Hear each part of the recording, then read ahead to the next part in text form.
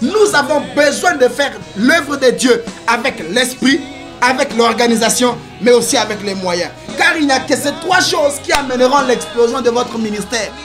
L'argent appartient à Dieu. Pourquoi nous, nous devons avoir peur de l'argent ou laisser l'argent aux francs-maçons? Non, l'argent n'est pas une propriété des francs-maçons. L'argent est une propriété de Dieu. Il y a des gens qui ont eu plus d'argent que vous. Mais où sont-ils? Donc l'argent n'est qu'un serviteur. L'avoir ne fait pas de vous un surhumain pour écraser les autres. Pour voir plus de vidéos chrétiens en exclusivité, tapez www.casarema.fr. Vous savez que tous les jours euh, ne se ressemblent pas. Et par la grâce de Dieu encore, nous sommes très ravis de vous retrouver nombreux pour euh, nous suivre.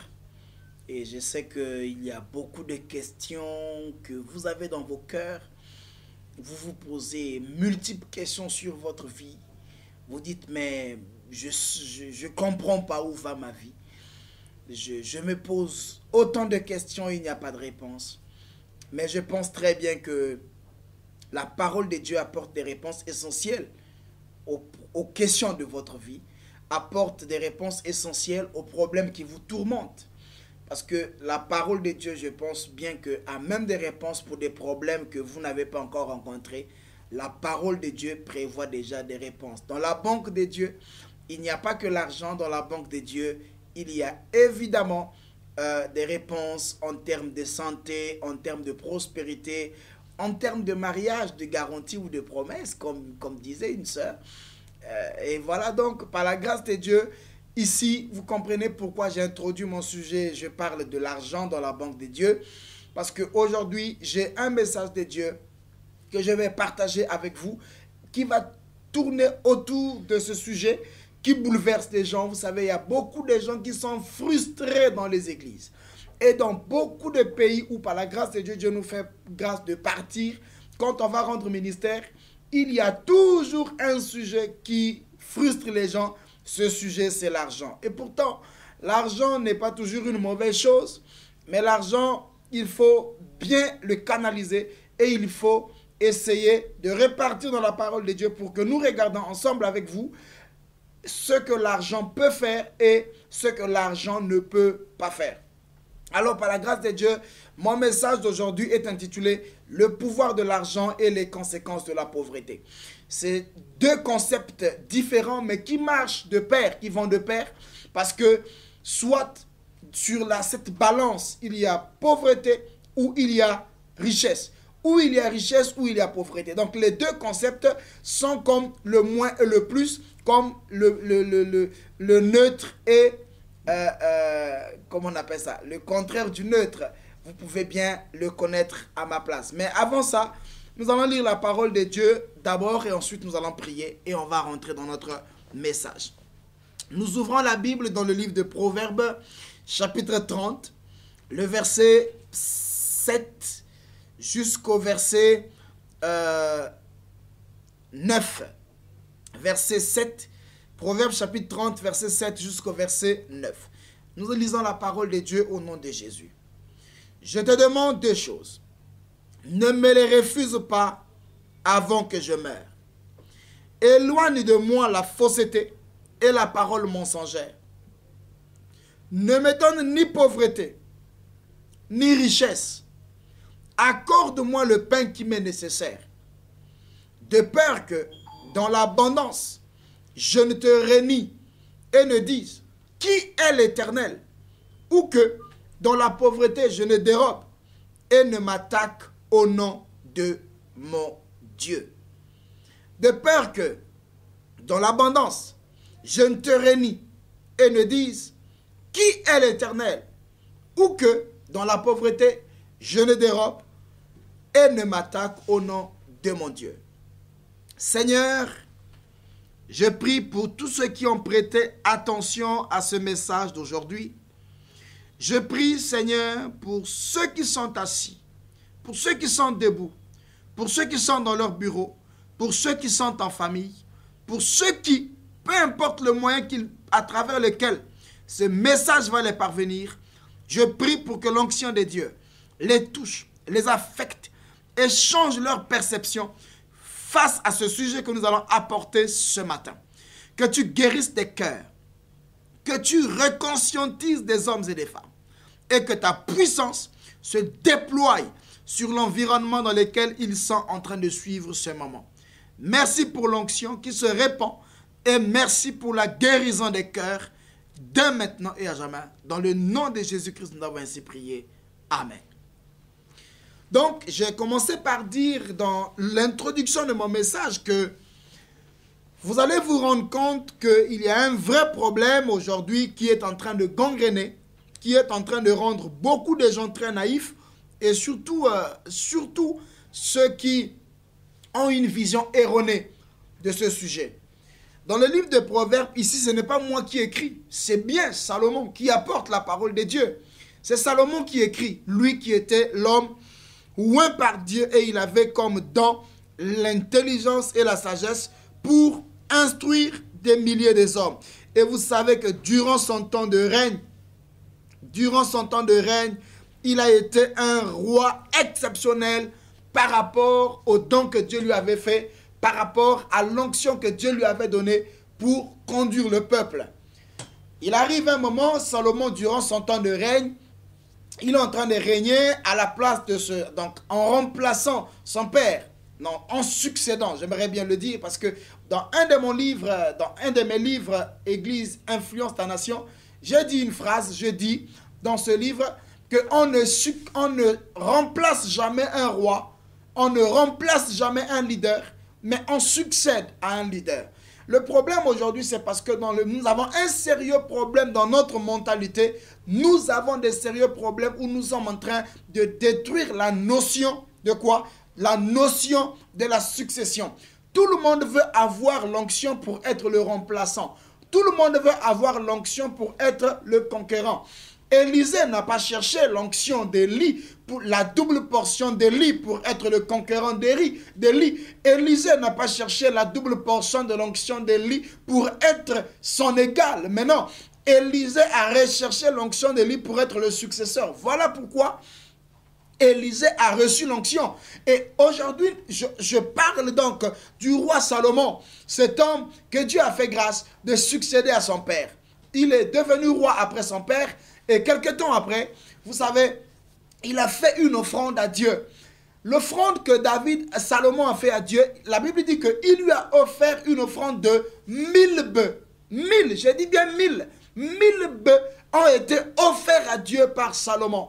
Et le même jour où Salomon a offert à Dieu une offrande de mille bœufs, la même soirée, le Seigneur lui est apparu. Le Seigneur l'a visité et le Seigneur, il a quand le Seigneur l'a visité, qu'est-ce qu'il a fait? Il s'est mis simplement à adorer Dieu. Il dit, Seigneur, je t'adore. Seigneur, je te célèbre pour la royauté que tu m'as donnée. Je te célèbre pour ce trône que tu m'as donné. J'ai succédé à mon père David. Seigneur, merci pour cette place. Merci pour cet honneur que tu m'as fait. Mais là, ce n'était pas toujours le problème. Après avoir adoré Dieu, Dieu attendait Salomon à la demande. Et Salomon, malgré l'offrande qu'il a faite à Dieu, il ne s'est pas mis à demander à Dieu, mais il l'a adoré simplement. En retour de l'adoration, Dieu décide de poser lui-même la question à Salomon en lui disant, que veux-tu que je fasse pour toi? Mais la question de Dieu était une question précise. Pourquoi précise? Par rapport à Salomon. Salomon écoute la question, il dit, Dieu lui dit, qu'est-ce que tu veux que je fasse? Salomon n'était pas en face de n'importe qui, mais il était en face de celui qui a le pouvoir de redresser le destin de quelqu'un. Mais ce jour-là, écoutez la réponse de Salomon. Il dit, Seigneur, tu peux tout faire pour ma vie. Tu peux me bénir, tu peux tout faire. Mais il y a deux choses que je te demande. Parce que je suis roi. Je suis un leader. Je suis un meneur des hommes. Donc, ma demande serait cadrée par rapport à mes fonctions, par rapport à mes responsabilités. Tu sais que je suis jeune, tu m'as choisi, mais là où tu m'as placé, j'ai besoin d'une chose. Pour diriger les hommes, j'ai besoin de la sagesse. Donne-moi la sagesse, parce que avec la sagesse, on conduit les hommes. On ne conduit pas les hommes avec l'intelligence, mais on conduit les hommes avec la sagesse. Et c'est ce que Salomon commence par faire. Salomon dit, donne-moi la sagesse. Parce qu'il savait que diriger les hommes n'était pas une chose facile.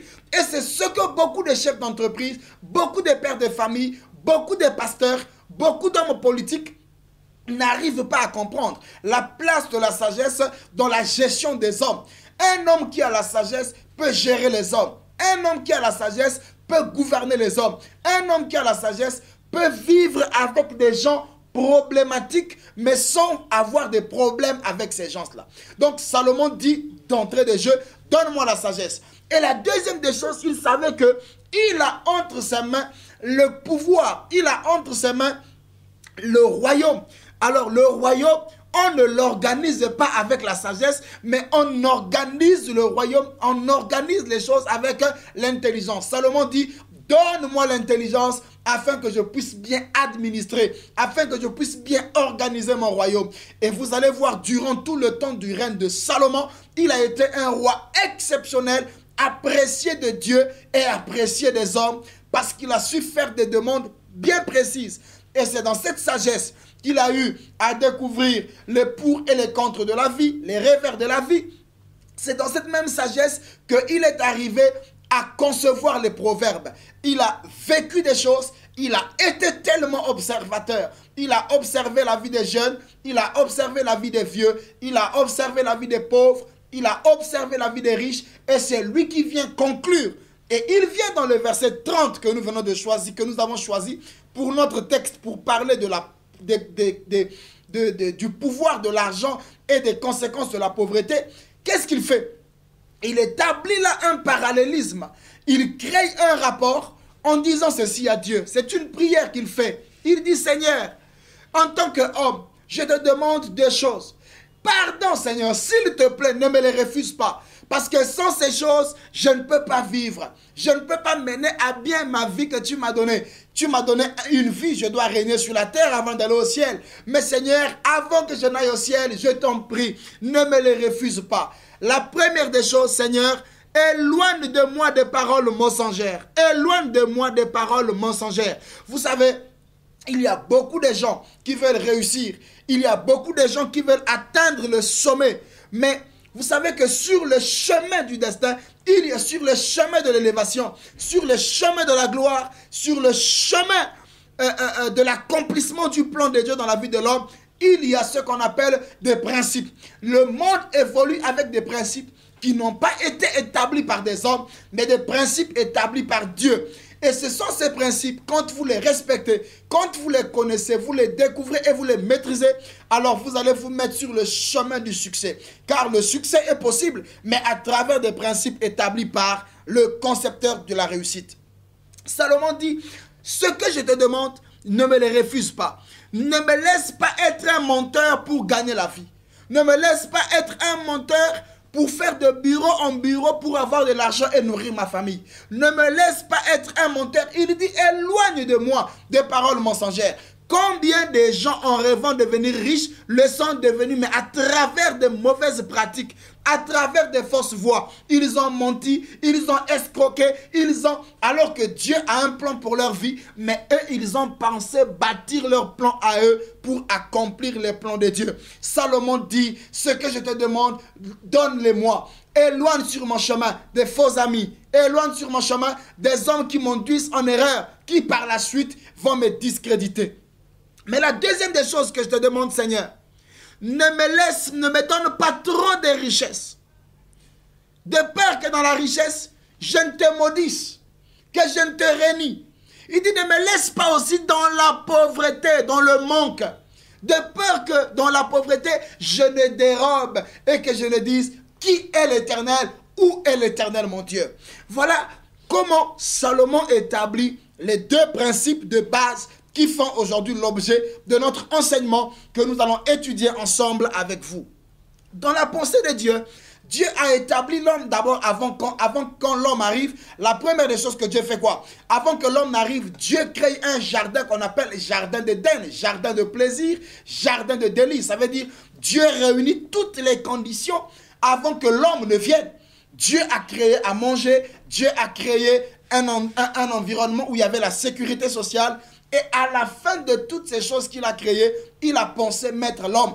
Ça veut dire que dans le plan de Dieu, Dieu envoyait l'homme pour que l'homme règne, pour que l'homme vive dans un environnement où il y avait la sécurité sociale, où il y avait le nécessaire.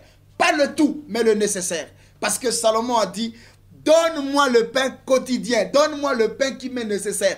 Et tout à l'heure, nous allons comprendre le pain qui est nécessaire, c'est quoi?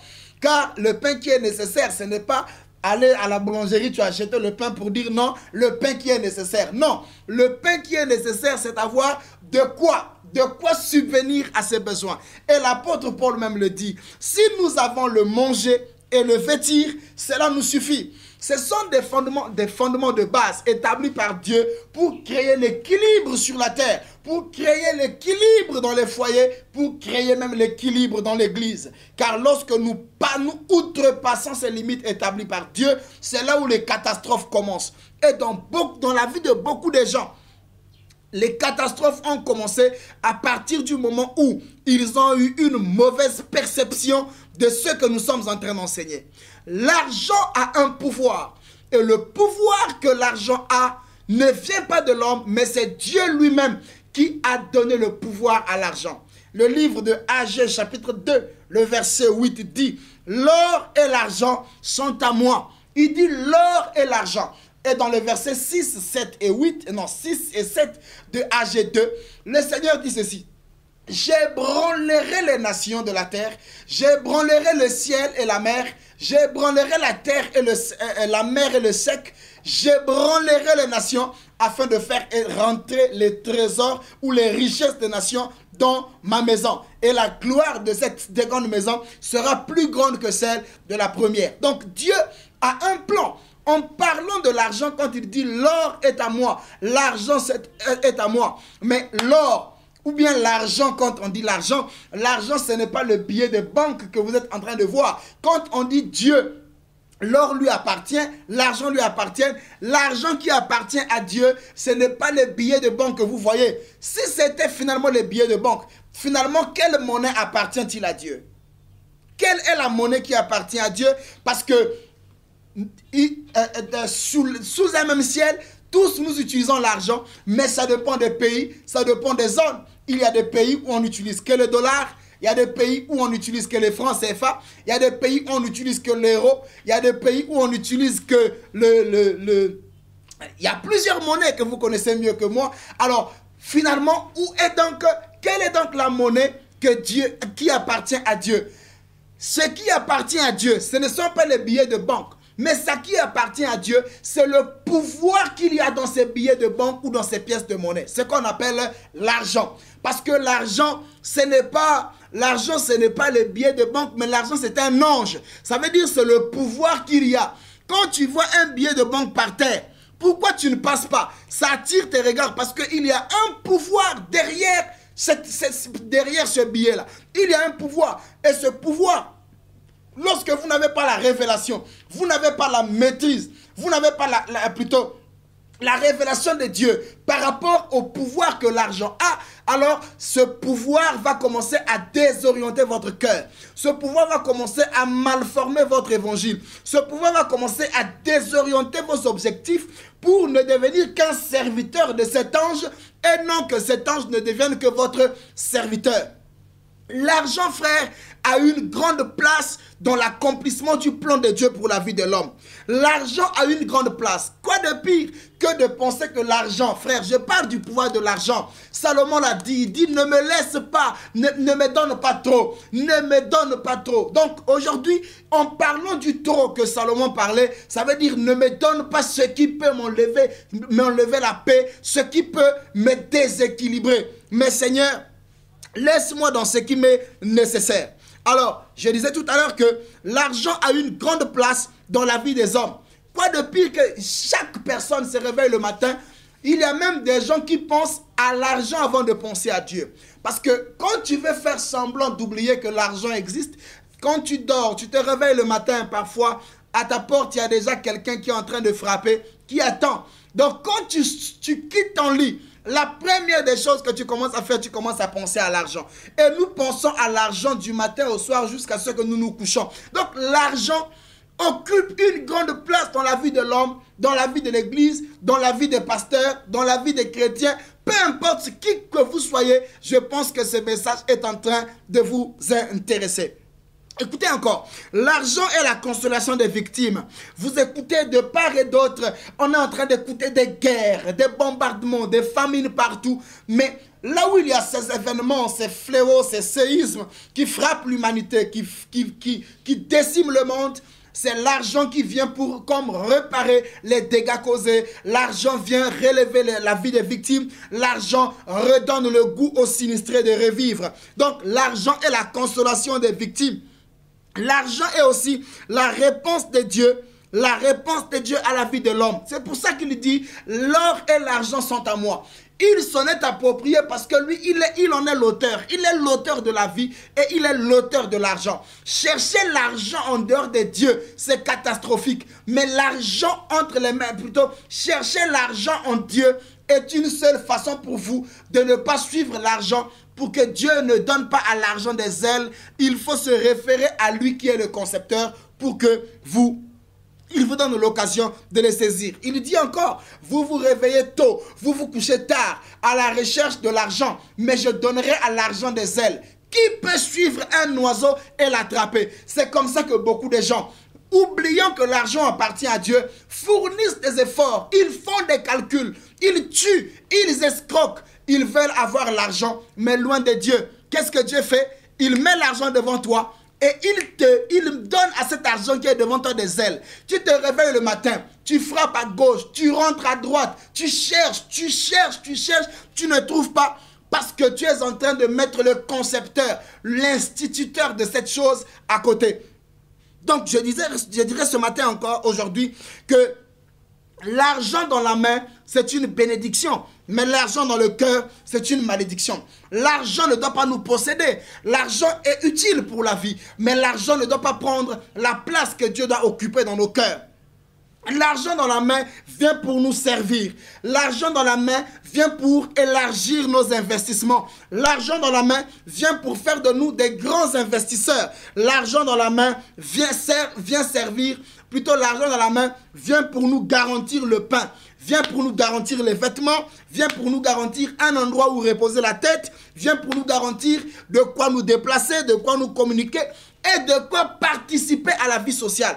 À la vie, à la vie sociale, à la vie spirituelle, c'est le but même pour lequel l'argent arrive dans la vie des hommes. Frères et sœurs, je suis en train de parler ce matin, pas comme un financier, mais comme un prophète averti qui est en train de voir des provisions que Dieu va faire rentrer dans l'église du temps de la fin. Car en ce temps de la fin, le Seigneur a dit qu'il ébranlera la terre, qu'il va secouer les nations pour faire rentrer l'argent dans l'église, pour faire rentrer l'argent dans la maison de trésor. Et gloire à Dieu pour les églises qui sont averties, qui commencent à mettre des intendants et à instruire des intendants. Ça veut dire des gens qui doivent commencer la gestion financière dans l'église parce que l'église sera l'une des plus grandes banques dans ce temps de la fin qui récoltera des fonds pour redistribuer quand il n'y aura plus d'espoir sur la terre. Voilà pourquoi il faut beaucoup de sagesse et d'intelligence pour rentrer dans ce couloir dans lequel nous sommes en train d'enseigner ce matin.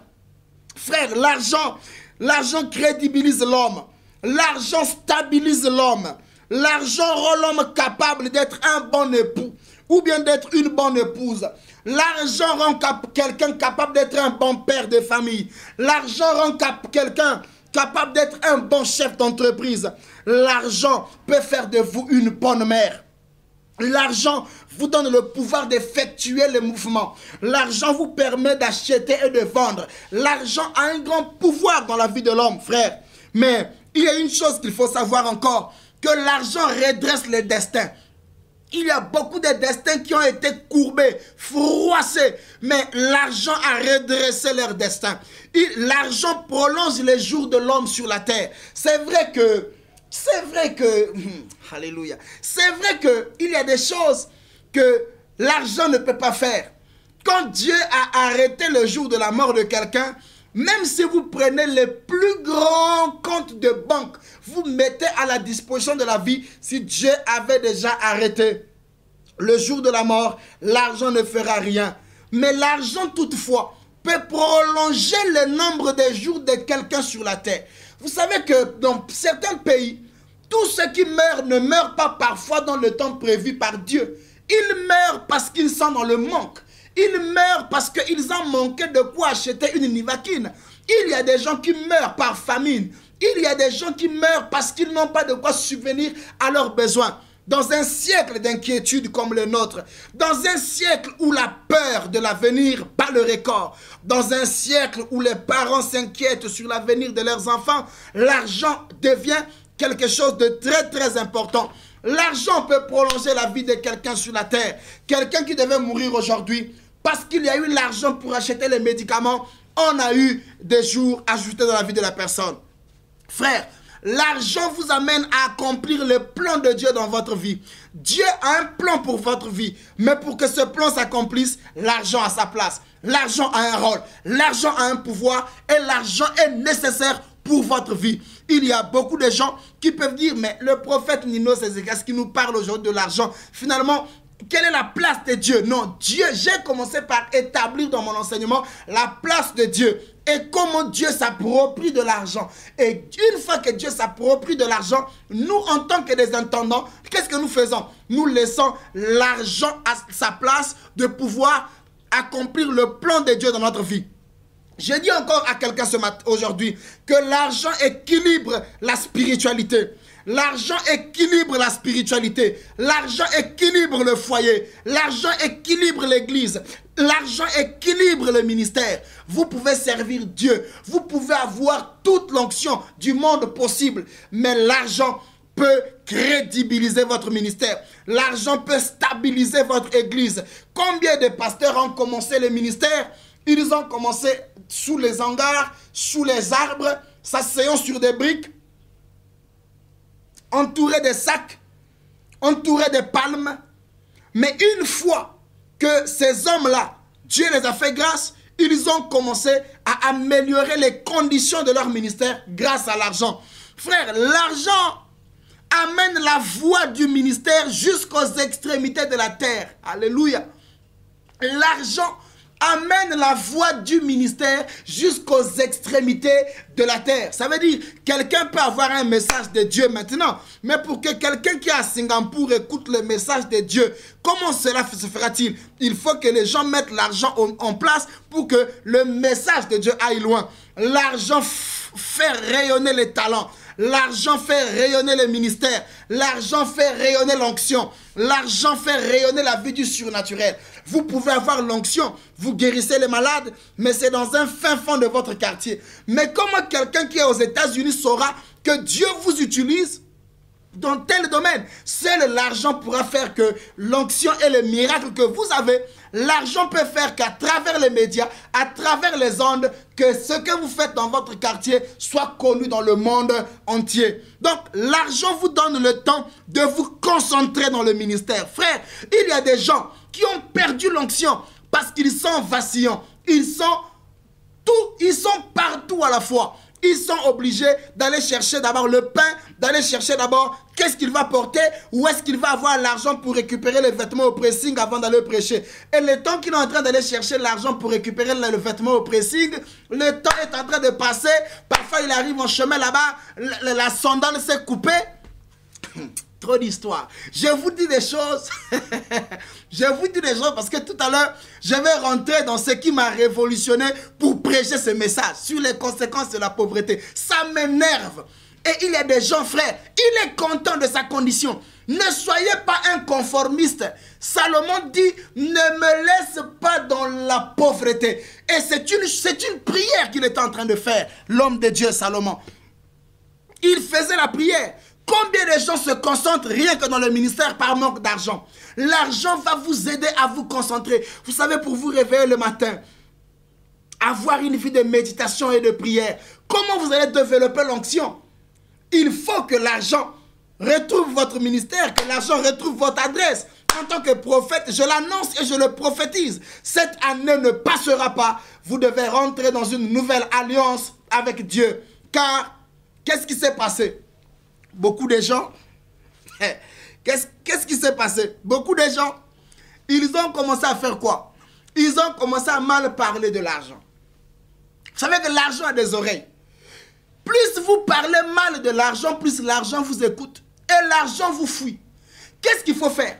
Il faut commencer dans votre vie de prière, en tant que serviteur de Dieu ou enfant de Dieu, à vous réconcilier avec l'argent. À vous réconcilier avec l'argent.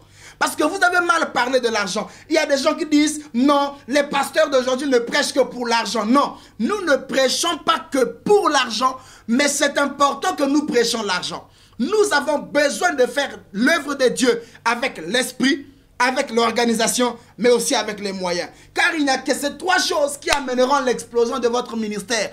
Il n'y a que ces trois choses qui amèneront l'explosion de votre onction. Vous avez l'onction mais qui est étouffée parce que l'onction n'est pas entourée par les moyens nécessaires ou par l'organisation nécessaire pour exploser votre ministère. Alors, il faut donc commencer par faire quoi? Par vous réconcilier avec l'argent. Changez votre attitude et votre perception face à l'argent. Parlez du bien de l'argent. Parlez du bien de l'argent et revenez dans ce que le Seigneur dit, dans les dîmes et dans les offrandes. J'étais dans un pays quelque part et là où on m'avait reçu dans cette ville, le pasteur, euh, je voulais faire des achats dans un shop et on m'a donné un chauffeur.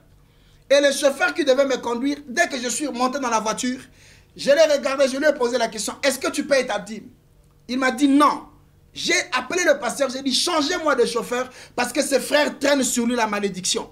La Bible dit, vous, trompez Dieu, la nation tout entière, parce que vous, ne payez pas mes dîmes et vous ne donnez pas les offrandes. J'ai dit au pasteur, changez-moi ses frères parce que c'est un homme qui traîne sur lui la malédiction. Peut-être qu'il traîne une malédiction qui va se répandre sur quatre générations. Ça, c'est mon attitude.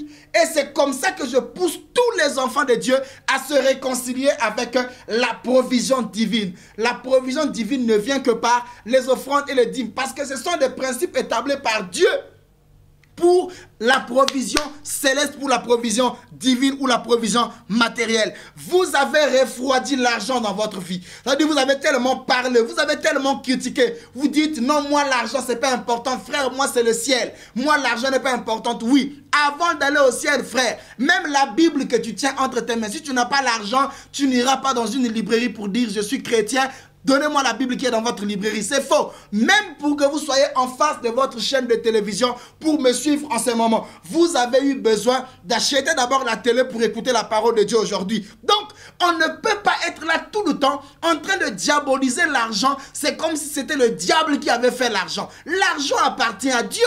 Pourquoi nous, nous devons avoir peur de l'argent ou laisser l'argent aux francs-maçons? Non, l'argent n'est pas une propriété des francs-maçons. L'argent est une propriété de Dieu. Et si tu es un enfant de Dieu, entre dans cette alliance et l'argent va retrouver ton adresse. Et je le prophétise en ce moment dans le nom de Jésus. J'espère que tu as dit Amen là où tu es. Maintenant, je vais parler un peu des conséquences de la pauvreté. Proverbe chapitre 6, verset 9. Proverbe chapitre 6, verset 9. La Bible dit, dégage-toi comme une gazelle vivante entre les mains du chasseur. Il dit, un peu croiser les bras et la pauvreté te surprendra. La pauvreté est tout d'abord un état d'esprit. Parce que quand je parle de l'argent, la riche, quelqu'un peut avoir l'argent mais il n'est pas riche. Parce que dans sa tête, il n'a pas la mentalité des riches. Pour lui, l'argent ne lui sert que à, écraser les autres. Non, l'argent nous sert à, à garantir le pain quotidien, à créer autour de nous un environnement social important, à créer autour de nous une sécurité sociale qui nous permettent, quand j'ai envie de manger, je peux manger. Quand j'ai envie de voyager, je peux aller prendre un billet d'avion et aller où je vais. quand j'ai envie de me reposer, je peux me reposer. Quand j'ai envie d'acheter la crème à mon enfant, que je ne dise pas, ah, même la crème, là, franchement, parce que lorsque vous êtes dans cette condition de la pauvreté, frère, je vous dis que même votre vie de prière ne sera pas équilibrée.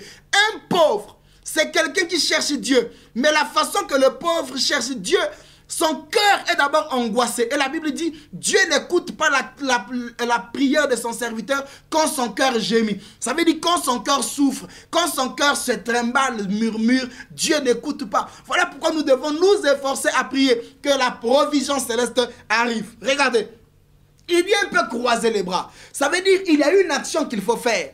Il y a des choses établies par Dieu. Il faut commencer par refuser la pauvreté. La pauvreté, c'est un ennemi dangereux pour votre vie. La pauvreté est un ennemi dangereux pour votre destin.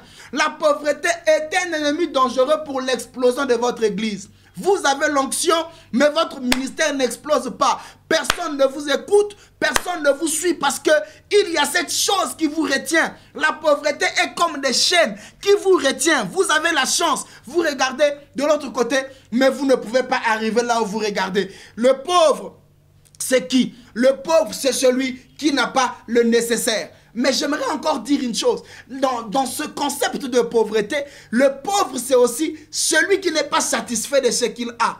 Parce qu'il y a des gens, il est riche, il a les moyens, mais il n'est toujours pas satisfait. Ça veut dire que pour lui, il est capable de continuer toujours à tuer, à faire du mal aux gens pour continuer à posséder. Frère, la pauvreté est un ennemi dangereux. Depuis un certain moment, je le disais à l'église, que, frère, je me suis rendu compte qu'il y a un véritable ennemi. J'ai passé beaucoup de temps dans mon ministère à combattre beaucoup d'ennemis, mais dans ces ennemis-là, j'ai découvert aussi un des grands ennemis. Cet ennemi-là s'appelle la pauvreté. J'avais l'onction, je prêchais, les gens m'appréciaient, mais mon message n'était pas découvert. J'avais beaucoup de projets qui ne se réalisaient pas. Ça, ce sont les conséquences de la pauvreté. Maintenant, je vais dresser une petite liste là une petite liste seulement. Je ne dis pas tout. Je vais dresser une petite liste et vous à la maison, qu'est-ce que vous allez faire?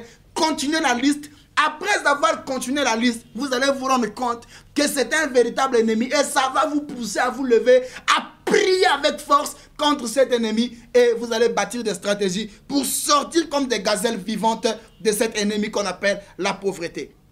Dans ma liste, je dis ceci.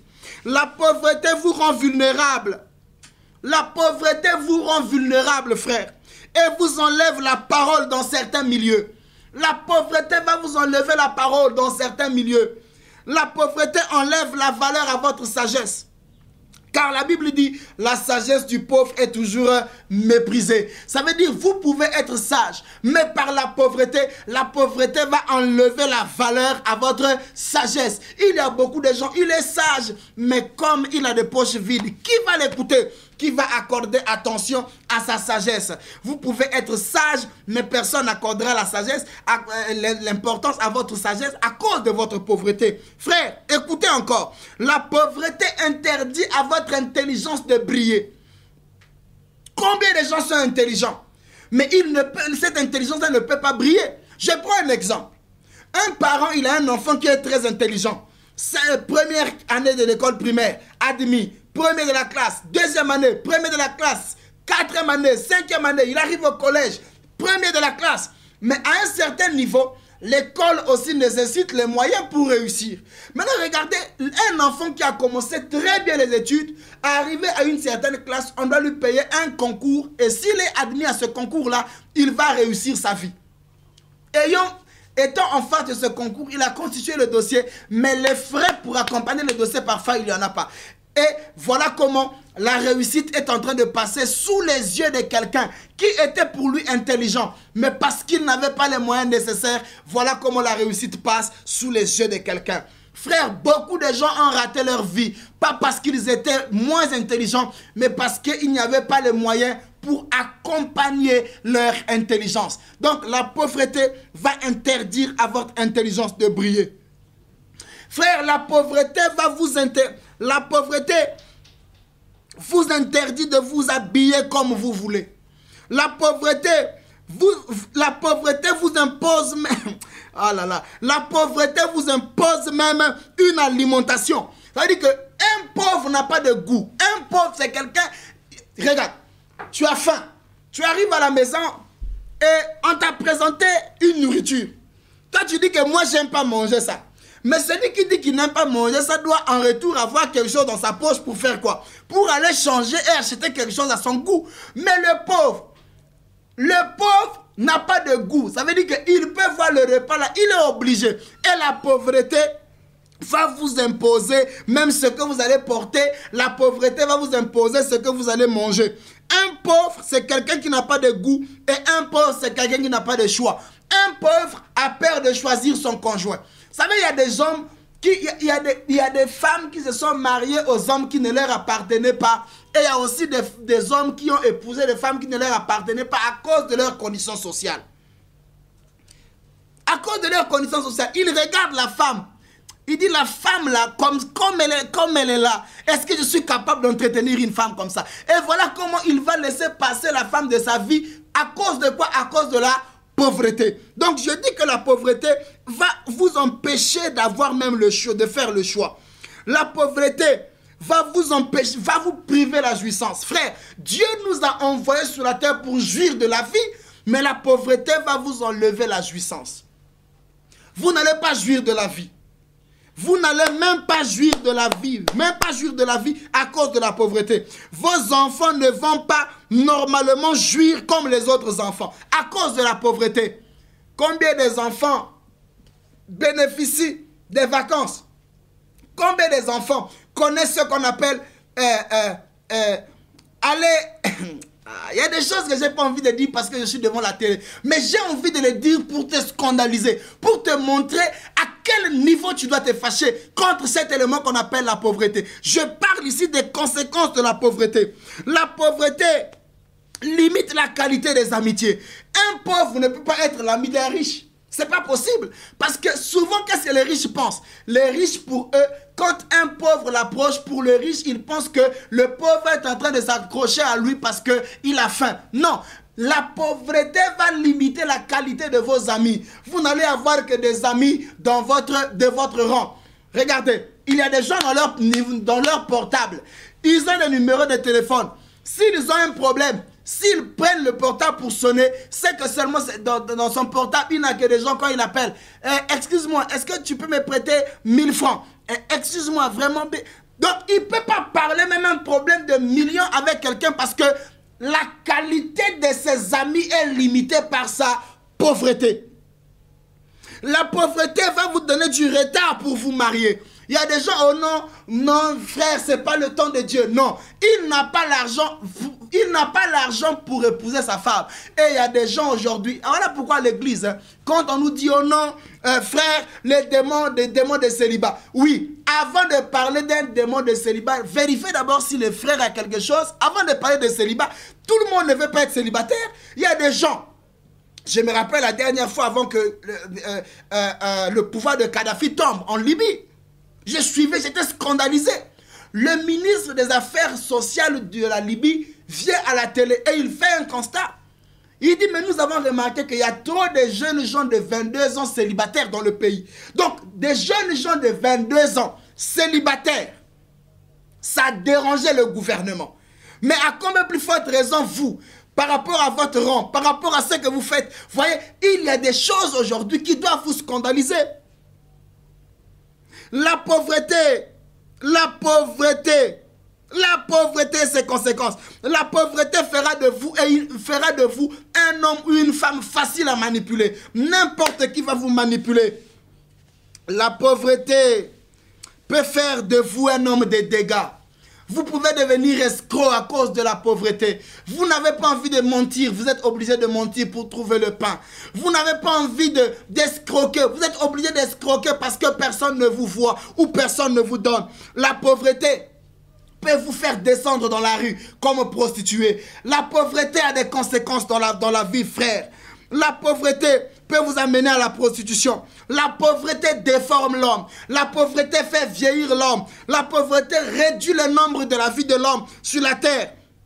La pauvreté enterre les projets. Ça, j'aimerais bien dire ça. La pauvreté enterre les projets. Si vous avez mon numéro de téléphone ou bien si vous avez mon numéro de boîte mail, écrivez. Regardez, il y a beaucoup de gens en ce net moment où vous nous suivez. Si on vous demandait les projets, peut-être que votre tiroir et votre armoire. Vous avez le projet des immeubles, vous avez le projet des fermes, vous avez le projet des boutiques, vous avez le projet, je ne sais pas, d'acheter et de vendre telle ou telle chose. Mais regardez comment tous ces projets traînent dans vos tiroirs pas parce que vous n'êtes pas intelligent, mais parce que vous avez, vous n'avez pas les moyens pour réaliser ces projets. Et ça, ce sont les conséquences de la pauvreté.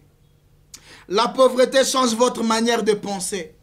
Quand quelqu'un est pauvre, quand il a 1000 francs, il lui dit, mais si j'utilise 1000 francs là, je prends le taxi. Et demain, comment je vais vivre? Alors que la Bible même dit, la Bible même dit chaque jour suffit sa peine. La pauvreté va vous enlever le chaque jour suffit sa peine. Vous allez commencer à vivre comme quelqu'un qui ne pense qu'à la mort. Quelqu'un qui est pauvre va pour lui toutes les chansons qui parlent de la mort vont l'intéresser. Parce que pour lui, c'est dit, vraiment, c'est l'unique consolation. Ah, que je meurs. Ah, Seigneur, vraiment que je meurs. Parce que pour lui, c'est dit, avec la façon qu'il souffre là, comment faire si Dieu ne vient pas à son secours? Ah, une chose encore, j'aimerais dire aujourd'hui, la pauvreté va vous empêcher la culture des week-ends. Vous savez, il y a beaucoup de, y a beaucoup de gens du 1er au 30, de lundi à dimanche, de janvier à décembre. Ils ne traînent que dans leur ville. Pourquoi? Parce que la pauvreté leur a enlevé la culture des week-ends. Samedi ne leur dit rien, dimanche ne leur dit rien. Parce que, regardez, quelqu'un qui n'a pas de voiture, il finit à l'église dimanche. Est-ce qu'il va penser sortir hors de la ville? Non. Il va commencer d'abord à penser aux frais du taxi, combien le taxi va le prendre pour sortir et aller hors de la ville? Mais quelqu'un qui a les possibilités de s'acheter une voiture aura la culture des week-ends. Pourquoi? Parce que quand il a envie de sortir, la voiture est là. La voiture peut lui permettre de faire plusieurs mouvements. Combien de couples n'ont plus connu la vie, plus connu la vie des week-ends à cause de la pauvreté? La pauvreté va vous enlever la culture des cadeaux. La pauvreté vous enlève. J'ai dit la pauvreté. Vous avez la volonté de faire les cadeaux, mais la pauvreté vient vous enlever cette volonté et cette culture. Vous devenez quelqu'un frère. La Bible dit oui. La Bible dit Amen, c'est vrai. Mais aussi, il faut prouver à quelqu'un que vous l'aimez par les cadeaux. Le Seigneur que nous aimons là, nous devons le prouver que nous l'aimons par nos offrandes, nos dîmes, nos aumônes que nous faisons aux pauvres, tout ça. Donc c'est quelque chose de très très important. Mes frères, sachez encore une chose, que la pauvreté est un, ennemi dangereux. La pauvreté vous donne du retard à la vie. La pauvreté vous enlève, vous enlève la vitesse que vous devez avoir. Vous avez bien commencé, mais vous êtes arrivé à un moment de votre vie, vous étiez buté, vous étiez bloqué. Alors aujourd'hui, si j'apporte ce message, c'est parce que Dieu a un plan pour votre vie. Vous pouvez vivre votre vie et jouir de votre vie. Vous pouvez essentiellement glorifier Dieu à travers de votre vie et à travers du temps que Dieu vous a donné. Mais qu'est-ce qu'il faut faire? Alors, je reviens encore sur trois et quelques points pour que je clôture mon message d'aujourd'hui. J'aimerais parler ici, puisque j'ai parlé du pouvoir de l'argent, de la place de l'argent et du rôle de l'argent, l'argent dans la vie n'est pas là pour nous rendre orgueilleux. Frère, il y a des gens qui ont eu plus d'argent que vous.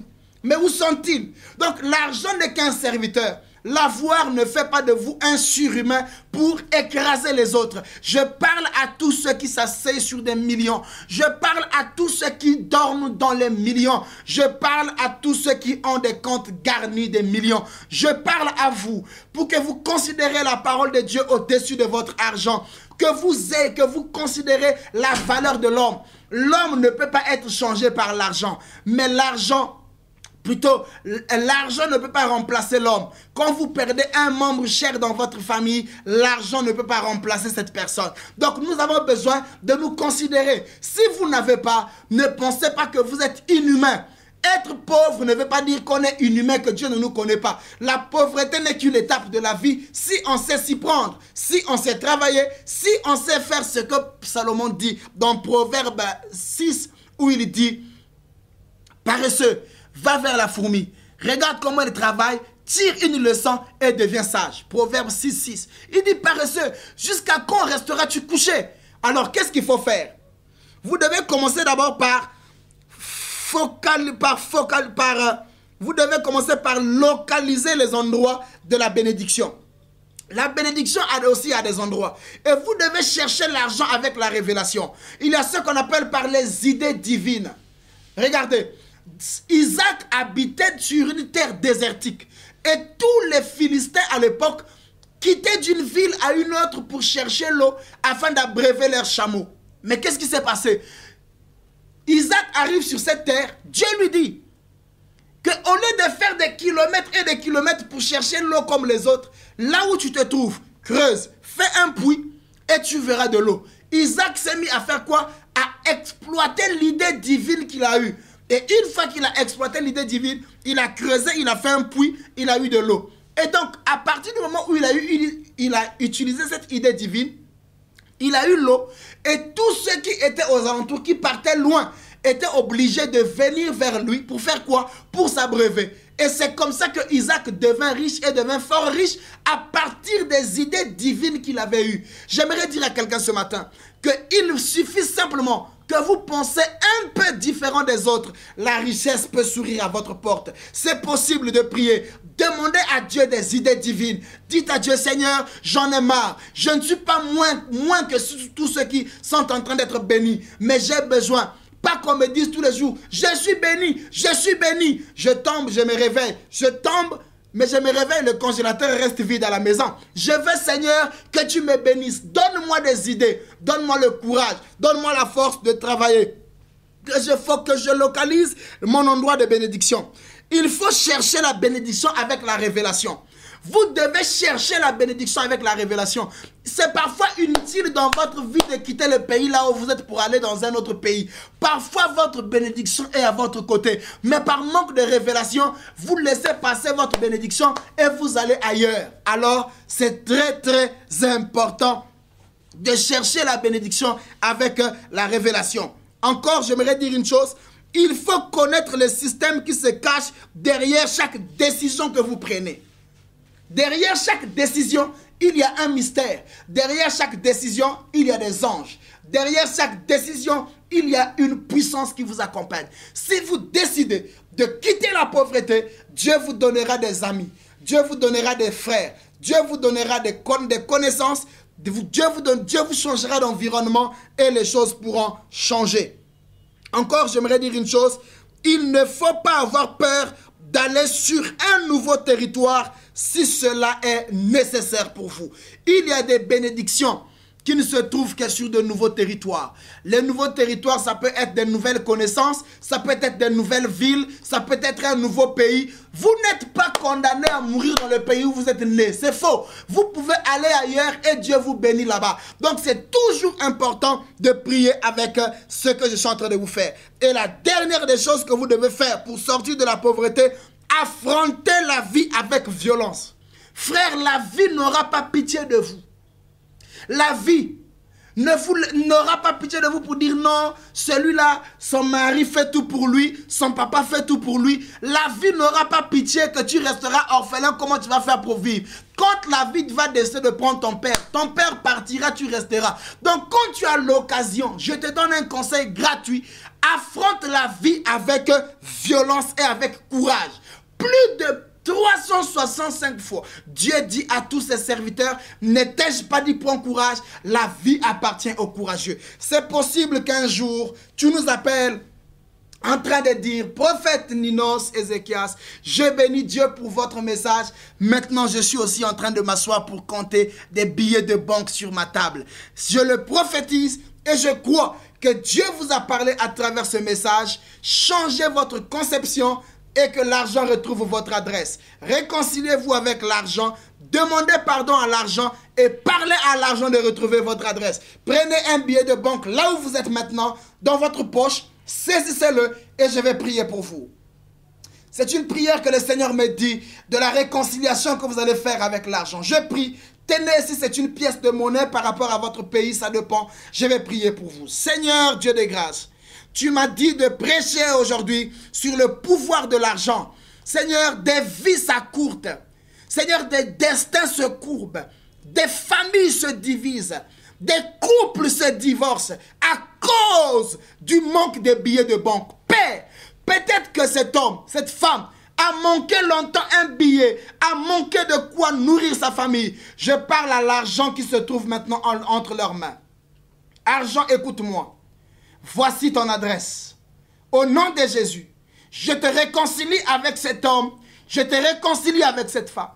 Dans le nom de Jésus, si tu avais oublié son adresse, Voilà, je t'ai montré l'adresse officielle de ton adresse officielle. Que tu viennes le jour, la nuit, que tu viennes. S'il fait un petit commerce, que tu arrives. S'il vend quelque chose, que tu arrives. S'il fait un travail, que tu arrives. Je t'appelle argent, écoute-moi. Pauvreté, je te chasse de leur vie et je te divorce aujourd'hui sans préavis avec eux. Je te déloge et que l'onction de la richesse vous accompagne. Que ça arrive dans votre famille, que ça arrive dans votre foyer, que ça arrive dans votre ministère, que ça arrive dans votre église et que l'explosion financière commence dès maintenant et à jamais. C'est dans le nom puissant de Jésus-Christ de Nazareth que j'ai ainsi prié et rendu grâce. Amen. Que le Seigneur vous bénisse.